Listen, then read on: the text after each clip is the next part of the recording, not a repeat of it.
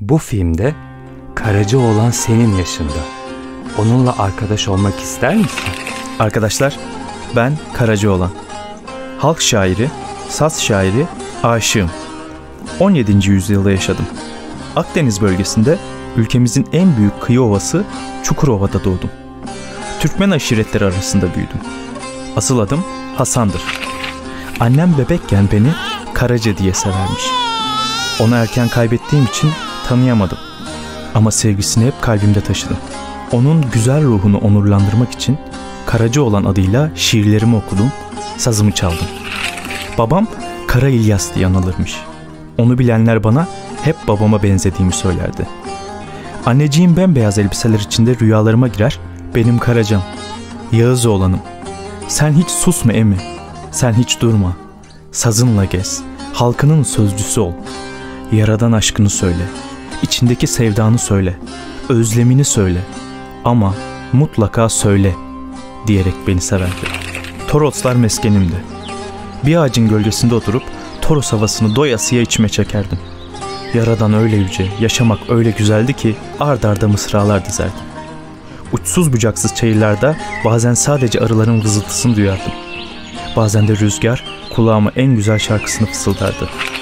Ben sazımı çalmaya başladığımda ağaçlar bir o yana bir bu yana sallanır, sanki türküme eşlik ederlerdi.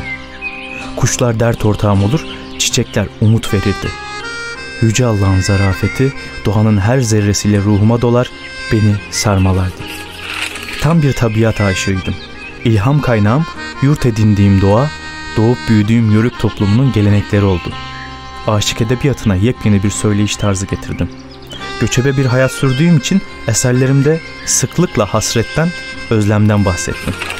Yaşadığım coğrafyanın kelimelerini kullandım. Anlaşılır ve yalın bir tarzım oldu. Duygu ve gözlemlerimi en gerçekçi haliyle dile getirdim. Güzellemeler, koşmalar yazdım. İçimdeki Allah aşkı öyle büyüktü ki birçok şiirimde bu sevdamdan bahsettim. Güzelleri, yiğitleri övdüm. Bana dert ortağı olan dağlara, ovalara, doğaya seslendim. Benden sonra gelen birçok şairi de derinden etkilediğim söylenir.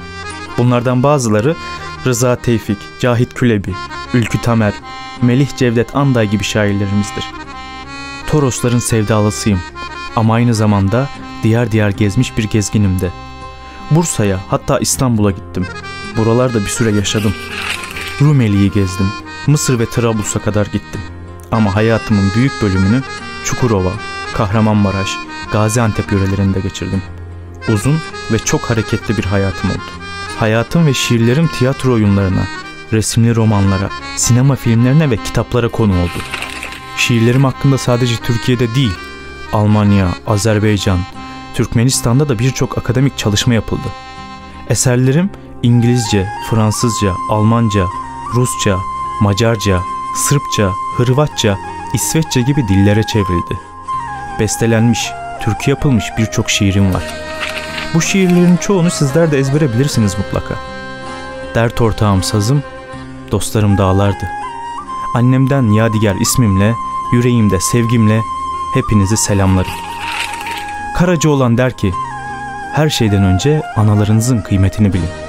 Onlar ayaklarınıza cenneti seren yüce varlıklardır. Gönlünüzde sevgi olsun.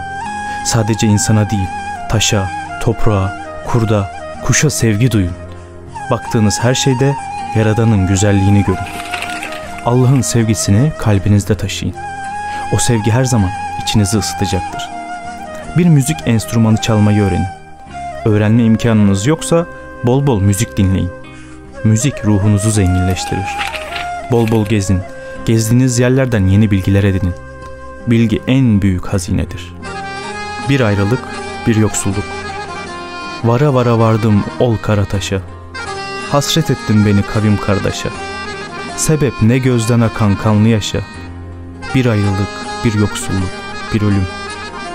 Nice sultanları tahttan indirdi. Nicesinin gül benzini soldurdu. Nicelerin gelmez yola gönderdi. Bir ayrılık, bir yoksulluk, bir ölüm. Karaca olan der ki kondum göçülmez. Acıdır ecel şerbeti içilmez. Üç derdim var, birbirinden seçilmez. Bir ayrılık, bir yoksulluk, bir ölüm. Karacaoğlan